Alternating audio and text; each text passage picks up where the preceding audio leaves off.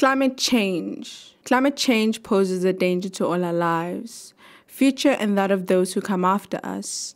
Unless we're prepared to risk having to move planets, we need to do something now. Climate change is a change in global or regional climate patterns attributed to the increased levels of atmospheric carbon dioxide produced by the use of fossil fuels. It comes with consequences for the environment, such as melting ice with 14% less permafrost, warming lakes by 0.34 degrees Celsius, increase in average temperatures by 1.4 degrees Celsius. Extreme weather events such as hurricanes as seen in the United States and prolonged drought as seen in Cape Town.